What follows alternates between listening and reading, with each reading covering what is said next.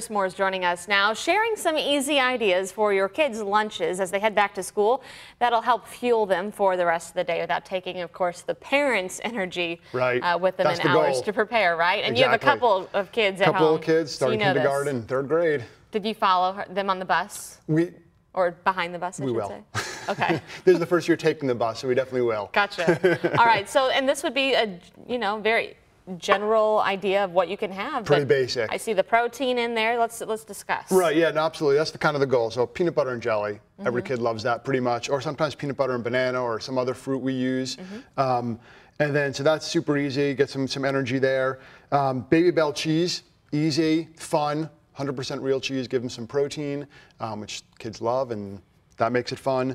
Some pistachios, some wonderful pistachios. These are, they have some flavored ones, sweet chili Very and black addicting. pepper and salt. They are addicting. So that's why it's perfectly portioned here. Some vegetables in this case, little tiny bit of chocolate chips if they want something sweet. I was wondering if those were just chocolate chips. yeah, just a little bit. Our kids thought that was awesome. They could have just a couple a day there. Mm-hmm. And as parents, we like that as well. Yeah. Well, and nifty little lunchbox you've got going there. Yes, this is this is Planet Boxing. You just get these online, which is where we did. Um, but it fits everything nice and, and kind of portions things out to make it easy for them. Okay. So it makes it good. And then The smoothie. Comes with the, yeah, and a smoothie. Another, so I wouldn't necessarily recommend all this at once. Why not? Um, but maybe it's a little much, maybe for adults. Um, but so I to pour this out of here, obviously. But Mm-hmm. sometimes we'll send them in with a smoothie. And I made this with real milk, cow's milk, which has protein and which has nine different vitamins and minerals.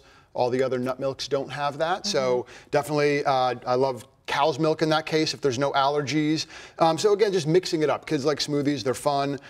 Trying to get some fruit in there, or vegetables, a little bit of protein, fun snacky things that taste great. Yeah. So now you guys are with JCPS, right? Or do you? Uh, no, we don't. We go to go back private school. week? Yeah, they go back next week though. Okay. Uh, the mid- so you'll be with everybody here in Be with everybody County. Wednesday, first day of kindergarten. It's Well, big time. And of course, we want to know how you guys prepare the kids' meals. If they want to Facebook or tweet us their ideas, and Yeah. we can share them and pass them along. But some great ideas. I do like the little individual areas of the lunchbox, especially something like this. It's skinny, but fits everything you Exactly. It- and it locks in, which is nice. So it keeps things Mm-hmm. kind of in order because we've had previous boxes where they like yogurt starts spilling over into the Yeah. other container. And so this makes it easy. Again, nice variety. And like you said earlier, parents don't want to, you know, they don't have hours to spend. So Mm-hmm. we, we do this, do this the night before, put it in the fridge, you're ready to go. All right, sounds good. Chris Mohr with all the details, our wellness coach here on the noon. So much more coming up ahead. Thank you again for Thanks, Brooke. joining us today and providing us with lunch.